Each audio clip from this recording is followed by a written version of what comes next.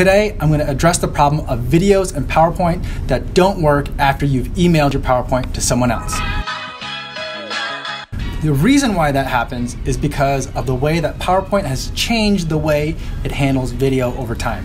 Now, let me pull up a quick tech document from Microsoft itself, and it talks about the different video and files supported in PowerPoint.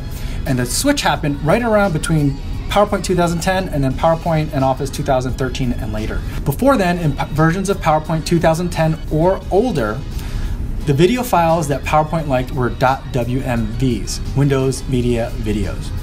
Fast forward to the next version of PowerPoint that came out 2013, there was a 180 degree switch, and instead of wanting WMVs, now PowerPoint recommended that you use .mp4 videos if you wanted to embed a video into your PowerPoint file.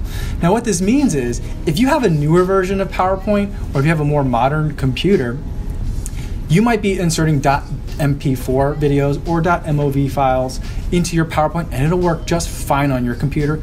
But if you send it to someone else, like say a convention hall or some other presentation facility, for whatever reason, they might have an older version of PowerPoint that doesn't like the same kinds of video files. What's the solution? You have to convert your videos into the older format and then resend it that way. Now, the way that we normally use to send it is we use a piece of software called uh, Adobe Media Encoder. It comes bundled with the Adobe Creative Cloud Suite that we subscribe to, which is how we edit our videos, do Photoshop, Illustrator, and all the other work that we have to do. That is, I understand, is not going to be attainable for most um, law firms that are out there. So there is an online solution that you can use, a free solution that you can use. But here's where I'm going to put like the big disclaimer on the screen here. Check with your IT professional whether or not this is safe. Use this at your own risk. It's a free software video converter uh, tool. Um, and so you'll have to evaluate for yourself if you're comfortable with the risks in this conversion. And what I'll do is I'll pull up a video file and let me show it to you here. Just for an example, it's a .m4v, another more modern video file format. Uh, this is one of the Facebook ads that we recently uh, ran. And if you play it, it just plays normal. It plays like a w, .m4v video. But if I were to put this in a PowerPoint and send it to someone that had an older version of PowerPoint, it wouldn't work. And so here's what I have to do.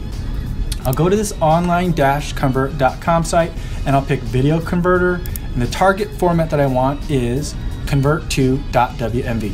So that's right there. I'll hit go. And the trick with a lot of these kinds of sites is to, uh, it's like a guessing game or like Minesweeper where you have to avoid the ad. Right, and so here there's a big continue button. That's not what you want to hit. Uh, what you want to hit is choose file, and then you go to the location on your desktop where that file is. Here's my file and I'll double click on that. Now it's in there. And then I can change some of the presets if I want to. I would recommend not doing this if you don't know what any of these things are and if you don't know if you need them, just leave everything the way it is and then hit convert file. And here's the part where you can look at their terms. Disclaimer again, use at your own risk. Um, I've looked at the terms. I don't use this tool because I don't have to. Um, I would recommend that you take a look at the terms, make sure you're comfortable, especially if you're dealing with something that's client uh, confidential or work product, uh, you're definitely going to want to take a very close look at those terms. You might not even want to use this. You'll, you might want to send it to someone that convert it for you, but just just so you know how to do it. I'm not trying to keep any secrets. Then you'll hit convert file, and then there's more of the kind of the guessing game of how to avoid accidentally hitting an app, Right. So right now it shows that my file is currently uploading. It's giving me the process progress there. Now it's done. It tells me conversion is in progress please wait. Again, don't hit any of these buttons. Don't hit start now. Don't hit I understand. That's not it. It's going to automatically start downloading. So just wait. And there it is downloading. Kind of, I could see it. It looks like it's done. Now I'll just click it to see if it works. And it works. Uh, the resolution is pretty similar to what the original resolution was. Uh, so I'm pretty happy. Now I can take this and I could put it into a PowerPoint and send it to someone that has an older version of PowerPoint so that'll work on their uh, system. And so the thing that I always recommend to people, if you ever have to send a PowerPoint to someone else and there's video in it, send it to them ahead of time and make sure if there's video that you tell them that there's video and ask them if the video worked.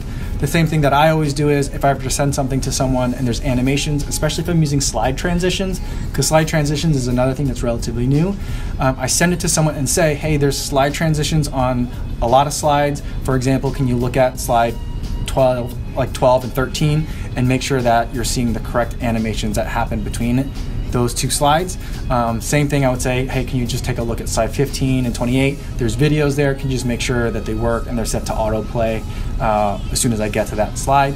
That's something that I would do just to make sure that you're not going to get to that facility, especially if it's somewhere you have to fly to, and all of a sudden you've been surprised at the last minute. So hopefully that'll avoid that for all of you guys uh, with just a quick tip on why your PowerPoint videos might not be working.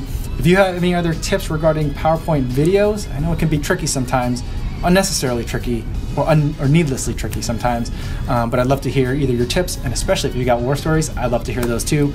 Uh, put them in the comments and I'd love to talk to you down there.